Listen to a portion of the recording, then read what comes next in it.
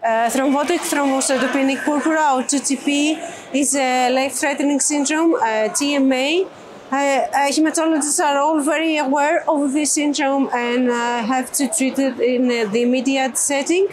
So over the last decades, plasmapheresis was the standard of care, but we now have new drugs uh, that are approved, like caplacizumab is approved for immune TTP or acquired TTP, and we do have uh, recombinant ADAMTS that is approved for familial uh, or congenital uh, TTP. And these, both these drugs are now under study into a setting without plasma exchange.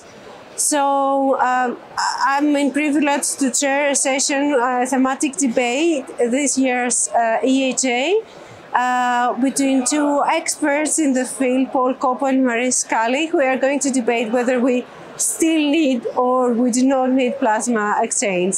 I think we're all working towards an era without plasma exchange or at least without plasma exchange in a certain portion of patients that would benefit only from uh, let's say, the targeted treatment.